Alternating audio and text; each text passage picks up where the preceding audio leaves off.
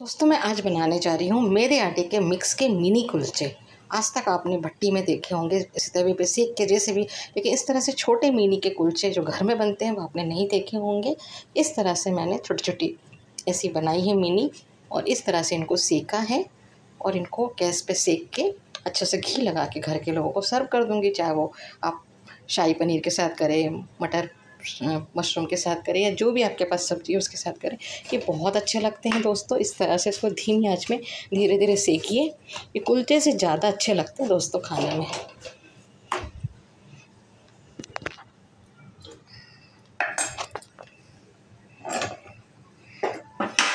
इस तरह से ये हमारे सीख गए हैं मिनी कुलचे।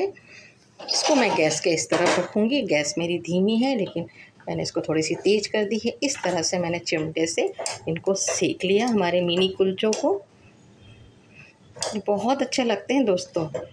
नॉन बटर की तरह रोटी हमारी जो भुट्टों में आती है, इस तरीके से। इस तरह से मैंने सभी सेक लिए। मैंने तीन अभी बनाए थे तवे पे।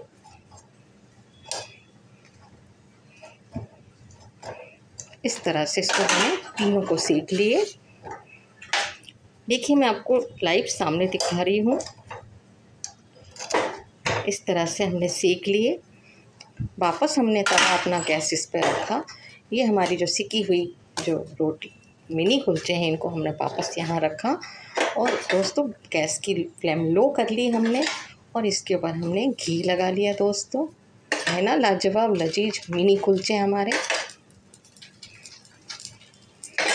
और इधर देखिए हमारे कुलचे बन रहे हैं और इधर मैंने आज अपने घर के लोगों के लिए मटर, मशरूम की सब्ज़ी बनाई थी, सलाद काटा, अचार रखा, साथ में चम्मच रखी और ये कुलचों को जो मैंने अभी बनाए थे, यहाँ सीधे से सर्व कर दिया। दोस्तों देखिए, मैं दो ही रख रही हूँ, एक मैं दूसरी प्लेट में रखती हूँ तो इस तरह से दोस्तों मेरी कंप्लीट थाली भी बन गई और मैंने मिनी कुलचे जो बनाए थे, दोस्तों देखिए कितने बढ़िया लग रहे छोटे अच्छे हमारे।